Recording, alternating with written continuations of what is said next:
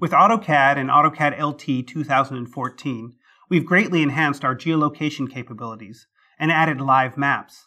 This means expanded coordinate system choices, address geocoding, and the ability to access live map data directly in Canvas.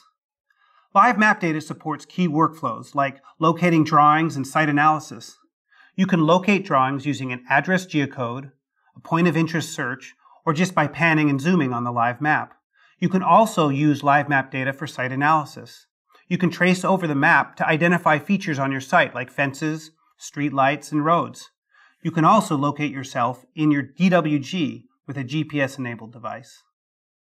Geolocation allows you to locate and view designs in the real world, as well as aggregate and overlay 2D and 3D geolocated data within your designs. You have access to a library of over 5,000 coordinate systems and can work directly with geolocated designs coming from AutoCAD Map 3D and AutoCAD Civil 3D. The new geolocation and live map capabilities allow you to easily connect your designs to the world around you.